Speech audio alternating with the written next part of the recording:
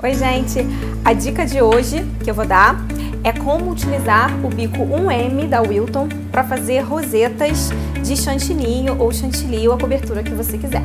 O bico 1M é o bico mais queridinho aí do pessoal, é o bico pitanga 1M da Wilton.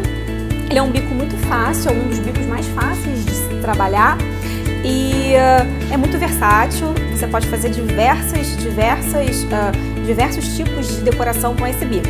Aqui nesse bolo eu vou fazer roseta. Eu estou usando aqui um chantininho num ponto para bico. E a roseta é o seguinte: a gente começa fazendo uma pitanga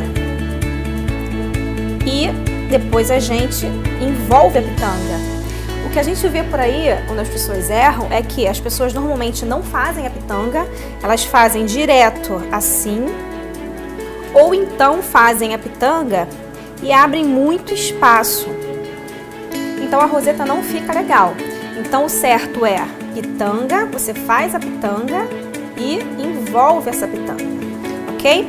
Aqui nesse bolo a gente vai fazer na lateral, a gente faz a pitanga e envolve. Eu já fiz aqui uma parte e eu vou completar o bolo com mais rosetas. Bom, eu já fiz toda a lateral do bolo com as rosetas. Nesse caso aqui, eu poderia fazer as rosetas em todo o topo do bolo, tá?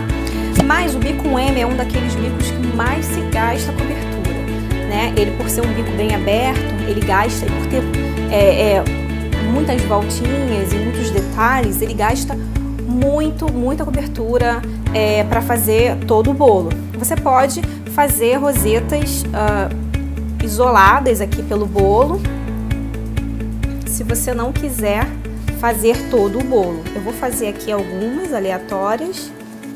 Bom, aqui está o bolo com o bico 1M da Wilton.